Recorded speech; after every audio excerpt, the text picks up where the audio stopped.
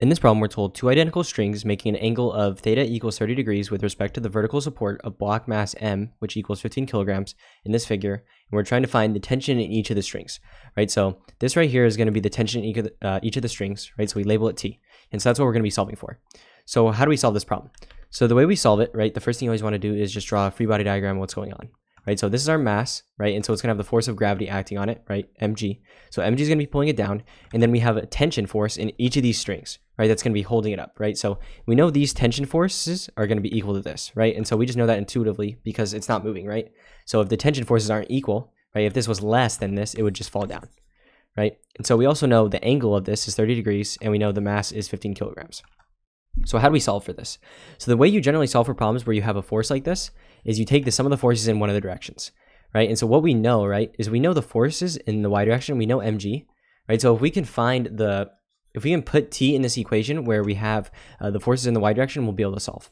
So just go along with what I say and I'll explain how it works. But essentially, we're going to take the sum of the forces in the y direction, right? And what are the sum of the forces in the y going to be equal to?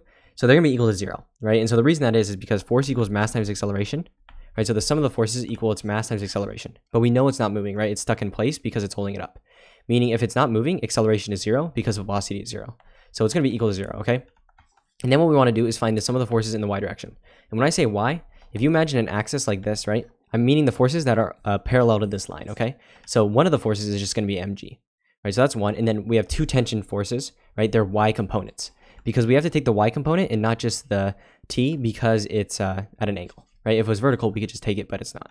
So what are the different forces? So when something's going downwards or pulling it down, we label it negative. And when it's going upwards, we label it positive. So one of the forces is just minus mg, and then plus, and then we're gonna have to find the tension forces in each of these, right? So we gotta find the y components of uh, each of these forces. The way we do that is by using trig. So let me draw this triangle right here. And so this triangle, what it represents is this triangle right here, okay? This triangle, all I'm doing is re, uh, copying it, right? And so this angle right here is this angle that it's being turned at, which we know is 30 degrees, okay? So this is 30 degrees.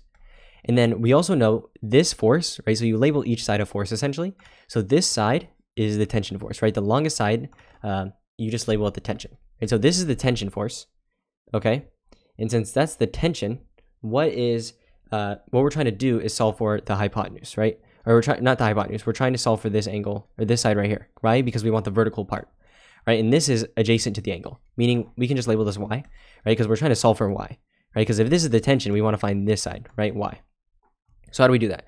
So what you do is you take the sine, or sorry, you take the cosine of your angle, right? And what is cosine equal? Cosine is equal to adjacent over hypotenuse, right? So katoa, meaning if we put y over t, right? The y over the t, and then multiply both sides by t, right? We know that t is equal to the cosine of 30, right? So one of the tensions in these cords, right? The vertical part that we're going to plug into this formula is t times the cosine of 30, right? But keep in mind, these are going to be identical. These on each side, because there's two of them, it's really 2 times t times the cosine of 30, right? Because there's two different forces. We just did one side, but it's the same on the other side. So there's going to be, uh, right? So the, the vertical component of this whole thing is just 2t times the cosine of 30, right? So when we add it here, the sum of the forces in the y, we have to add 2t times the cosine of 30, right? And what you should notice is t is actually in this equation, so we can solve. So that's just the basic gist of how you solve problems like these. You just want to plug in a variable and get it to a point where you actually have that variable in here. So I knew when we solved this that t was actually going to be in this, and that's exactly how uh, I knew we were going to be able to solve for it.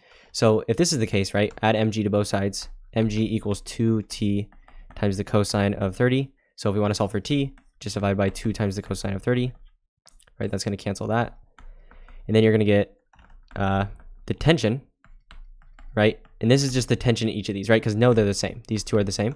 So two, t equals mg over 2 times the cosine of 30. So you're going to want to go ahead and plug this in. So mg, so 9.8 times the mass, which is 15, right? And then divide that by 2 times the cosine of 30.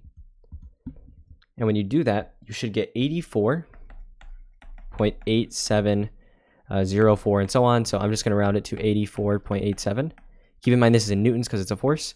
And then they wanted the individual, right? So they wanted the tension in each of the strings, but keep in mind this is the tension, right? Because we just solved for T, and what is T? It's just the tension in one of the strings, right? Even though they're the same, right? So uh, the tension in one of the strings, or each of the strings, is 84.87. And yeah, so this is going to be your answer, and hopefully you found this useful.